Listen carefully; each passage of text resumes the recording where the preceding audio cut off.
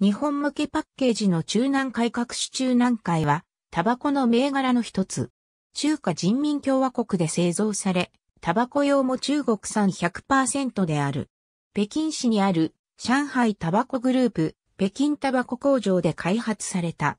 もともとは中国で政府要人向けに生産されていた銘柄であり、その居住区である中南海から名付けられた銘柄である。漢方タバコの一種に分類される。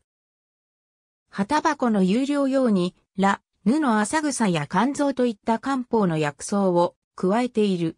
ただし、あくまでもタバコであるので商品パッケージには健康リスクに関する記載もされている。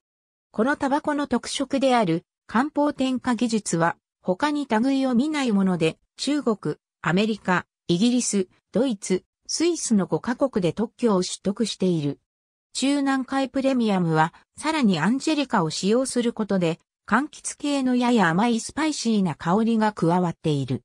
また、中南海メンソールは緑茶エキスをミックスすることによって一味違うまろやかな清涼感を演出している。メンソールと 1mg は日本限定商品だったが、メンソールは 8mg とロマンティックを 1mg はプレミアム商品のスーパーワンとして2012年より中国でも発売している。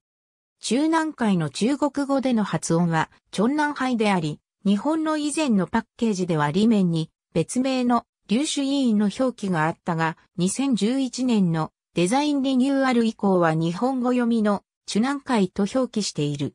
中南海と中南海ニューマイルドは、かつてはソフトパックも販売していた。ABCD、タバコを知って、タバコをやめるタバコのうんちく彩り図社、2009年、87から90ページ。ありがとうございます。